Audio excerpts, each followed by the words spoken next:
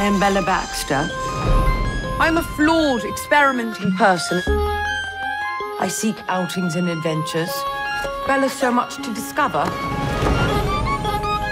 You're the most beautiful woman I've ever seen. I am finding being alive fascinating. Bella. Why I keep it in my mouth if it is revolting? I must go punch that baby. We must experience everything, not just the good, but degradation, Shall we sing? horror,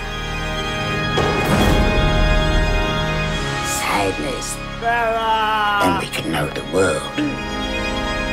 And when we know the world, the world is ours. We more. No more. Any more's too much.